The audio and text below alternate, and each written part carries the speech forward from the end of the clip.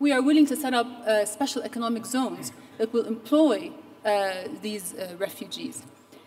Now, when you do that, not only are you giving the refugee the sense of economic self-sufficiency, which will lower the cost of hosting refugees, but you also give him skills and training that he will put to good use once he returns to his country.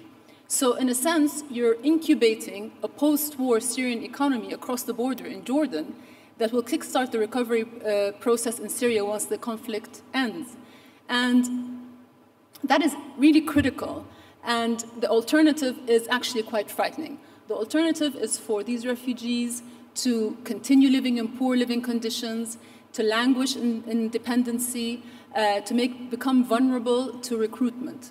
So what we're talking about is a real paradigm shift from short-term crisis relief thinking to more holistic, sustainable approaches uh, uh, and a new blueprint for dealing with refugee issues.